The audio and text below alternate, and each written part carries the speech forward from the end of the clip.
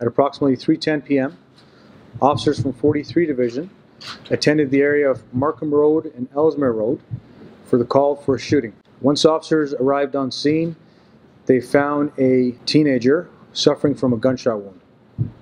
He was taken to a trauma center where he unfortunately succumbed to his injury. We have identified this young victim as Safiullah Khosrawi. He's 15 years old. He's a resident of Scarborough. He's also a student at Woburn Collegiate Institute. In relation to this incident, we have also charged a young person who is also 15 years old and is also a student at Woburn Collegiate Institute with second degree murder. This male is known to police. However, I want to indicate that our victim, Safiullah Khosrawi, is not known to police.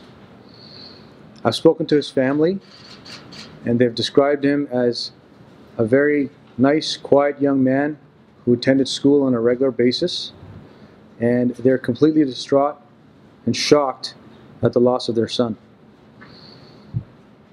I'm urging the public for their assistance in coming forward and providing us information in relation to this incident. This incident occurred in broad daylight and there was significant pedestrian traffic in and around the area of the incident.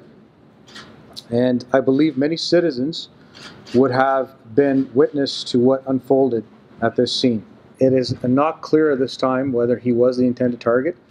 Nothing in the uh, victim's background or who he is uh, indicates as to why this occurred to him.